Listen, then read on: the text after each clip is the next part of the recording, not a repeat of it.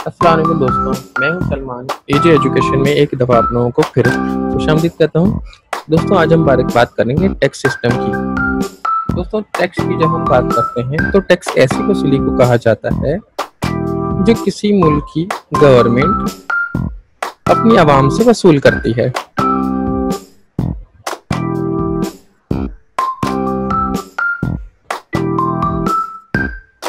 जिसका मकसद मुल्क के अखराज को पूरा करना होता है। कोई भी मुल्क टैक्स के ज़रिए अपने अखराज को पूरा करता है।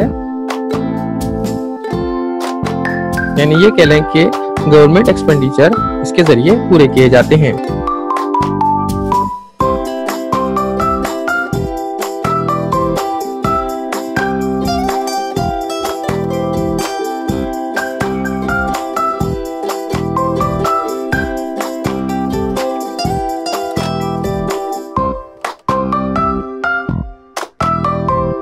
दुनिया में बहुत सारे टैक्स सिस्टम फॉलो किए जाते हैं, जिनमें से चंद एक मैं आप लोगों को बताने वाला हूँ। नंबर वन है प्रोग्रेसिव टैक्स सिस्टम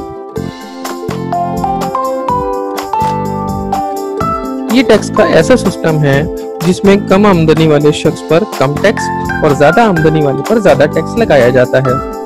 यानी ये कहें कि जितनी ज़्यादा आमदनी होगी, उतना ही ज़्यादा टैक्स देना होगा।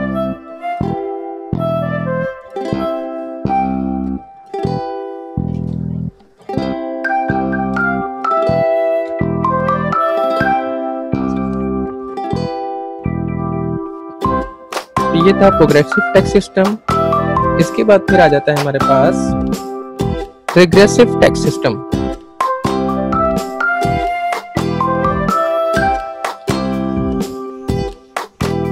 दोस्तों टैक्स का ये वो सिस्टम है जिसमें ज़्यादा आमदनी पर कम टैक्स लगाया जाता है, यानी जितनी आमदनी ज़्यादा हो जाती जाएगी, उतना टैक्स की परसेंटेज कम होती चली जाएगी।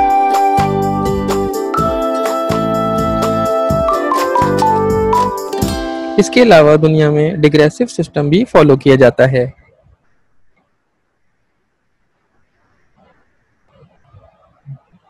Thanks for watching